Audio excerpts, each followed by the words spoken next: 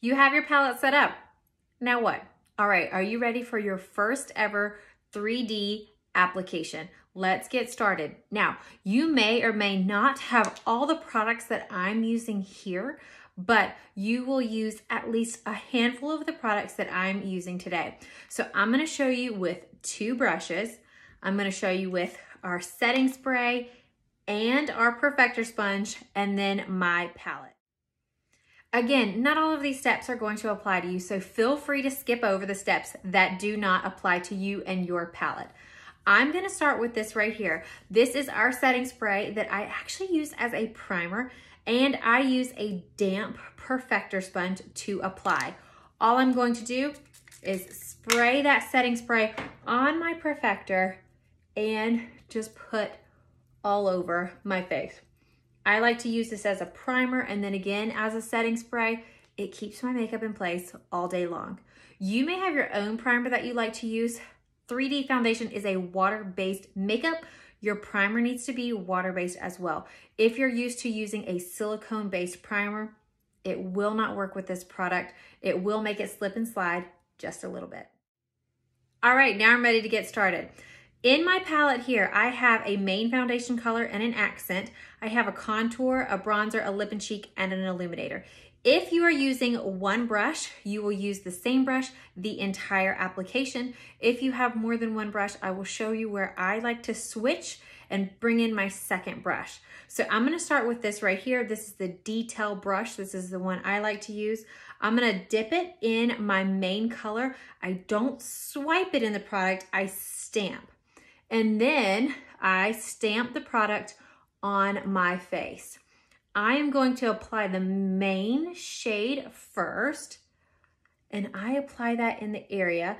If I had a beard and a mustache, so right here. Now, at any point, you can apply this product all over your face if you need more coverage. However, if you are someone that just wants the minimal coverage and you don't have a lot of skin integrity things, you're gonna leave some spots blank with no highlight on it. So after the beard, then I place this product under my eyes. I definitely wanna make sure that I'm stamping underneath the eyes because this is where we have a lot of our fine lines and wrinkles and texture.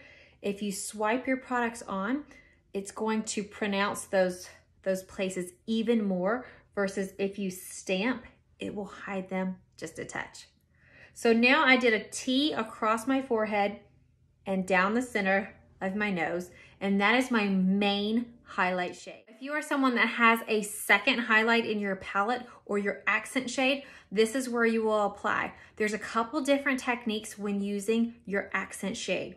Now, if you are someone who has a nice bag under your eye, we don't want to highlight that entire area because it's going to make it look bigger and brighter. We want to take a small end of a brush or even your finger and we're gonna apply that highlight just around the area of the bag. So you're gonna blaze it all around the bag. If you are someone that just wants to brighten, you're going to place a little dot on the inside of the eye and a little dot on the outside of the eye.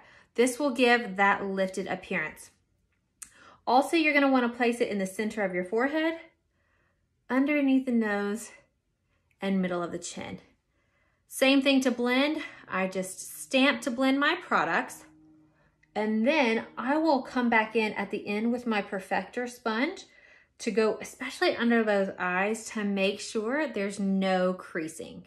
Now we're moving on to the contour right here. This is the fun part because without this, you're looking pretty washed out and a little bit flat.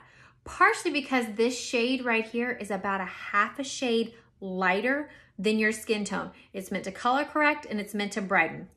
That's why we bring in a darker color that is several shades darker than your skin tone to bring back the shape and dimension. Now remember, these are cream products. This color looks intimidating, but I promise you, you can blend it away. So make sure you give it your all and try it out. So when you apply your contour, With the highlights, I like to stamp because it's a softer product. But with the contour, I like to swipe my brush through to make sure that I'm getting enough product on my brush. Now, with the forehead, you're gonna keep that color close to the hairline, okay? But then when you look at your cheeks, you are going to find the most prominent part on your face. A couple tidbits to help you find that is start with the top part of your ear and work your way forward. The most prominent part of your face is going to be right there. Traditionally, we always say make a fish face, and that will help you, but that brings your contour just a little bit lower, and I like mine just a touch higher to give that more lifted appearance. So when applying your cheek contour, we're going to start up at our ear and find the most prominent part, and that's where we're going to stamp, just like that. Now, I stop my contour somewhere between the outer corner of my eye and my pupil. I never let my contour go in these smile lines. So I just stamp right along that cheekbone, right there. And you guys, it can be messy. It can be haphazard. It doesn't have to be perfect. Okay, so now I have two cheekbones contoured. Now, if you want to get extra fancy, if you are someone that has a more full face or you feel like your face is a little bit more full, you're gonna take your contour on a sharper angle from the ear toward the mouth, so more of a sharp angle. If you're someone that feels that your face is a little bit more thin or it's more elongated and you don't want to have any slimming appearance, take that contour from the ear more towards your nose and it's going to be more of a horizontal versus more of a vertical, okay?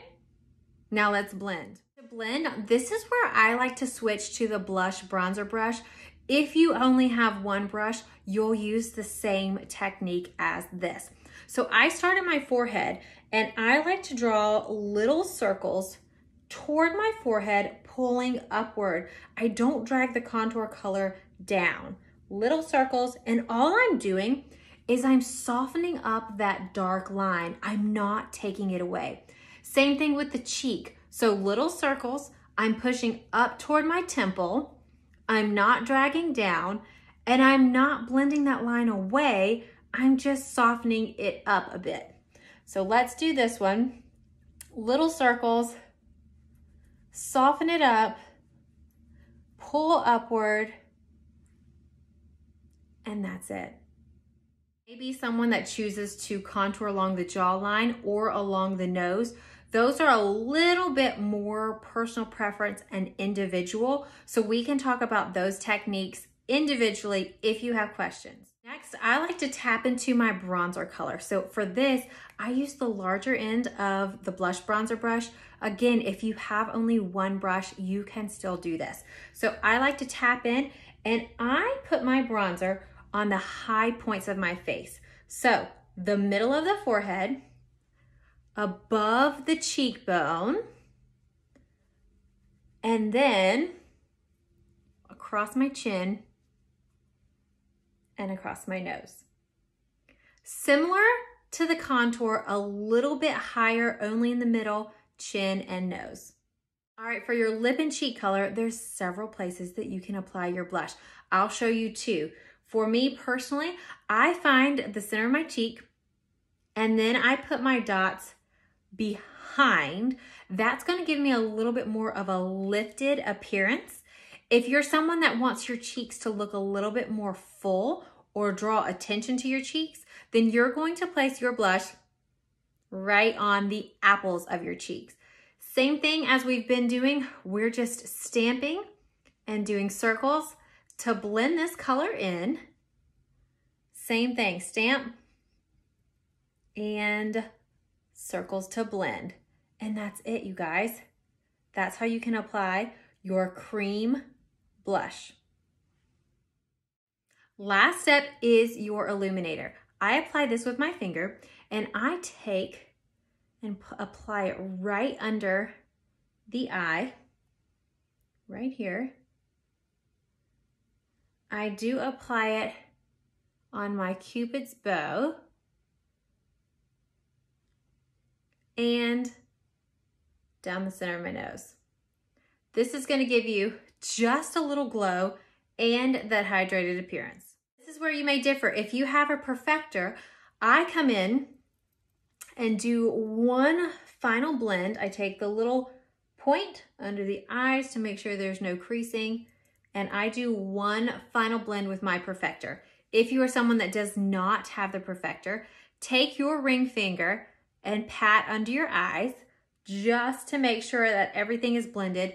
And then you can take your brush, whichever it may be. If you have this one, I use the big end. If you only have a smaller one, you can use that as well. But I like to do just one final blend to make sure I'm good to go.